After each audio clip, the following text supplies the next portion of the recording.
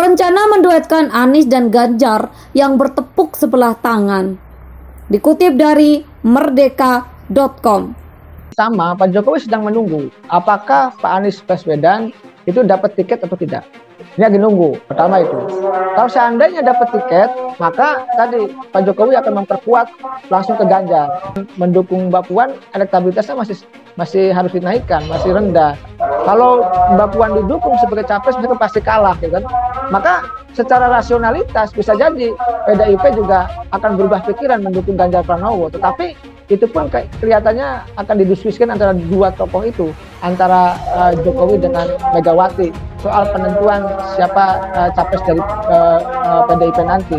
Uh, ke, ke berbagai pihak, tokoh masyarakat, ke pelaku usaha dan sebagainya sebagainya. Ini adalah skenario terbaik. Tetapi ada skenario-skenario yang lain karena apa?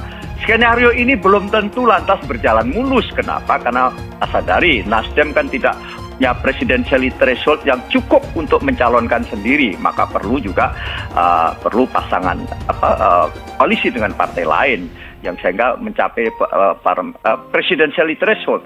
Nah di sisi lain, uh, apakah lantas juga uh, dinamika-dinamika selanjutnya, misalnya pasangan-pasangan ini juga juga juga juga menyangkut pat patron-patronnya dari pasangan-pasangan ini juga rela lah katakanlah demikian sebagaimana kita ketahui misalnya Ganjar hmm. dalam hal ini adalah kader PDI Perjuangan dan uh, meskipun uh, Pak Anies adalah non partai. Skenario awal Partai Nasdem menuju Pilpres 2024 kandas.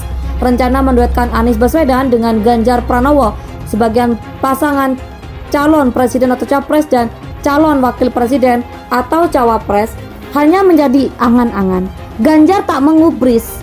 Nasdem menyebut penolakan Ganjar sebagai dinamika skenario pasangan Anies dan Ganjar di Pilpres 2024 akhirnya bertepuk sebelah tangan. Ganjar masuk daftar capres Nasdem saat Rakernas di Jakarta.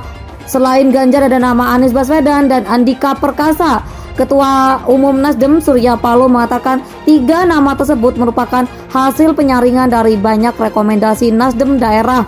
Anies mendapat rekomendasi dari 32 DPW Nasdem kecuali Papua Barat dan Kalimantan Timur. Sementara Ganjar memperoleh rekomendasi dari 29 DPW Nasdem kecuali Kalimantan Timur, Banten Nasdem, Kalimantan Selatan, Nasdem Maluku Utara dan Nasdem DKI Jakarta. Sedangkan Andika Perkasa mendapat rekomendasi dari 13 DPW Nasdem. Rekomendasi Capres Nasdem sampai ke telinga Ganjar pada 18 Juni 2022. Namun kader PDI Perjuangan itu tak menjawab, dia hanya menggantungkan rekomendasi Nasdem tersebut.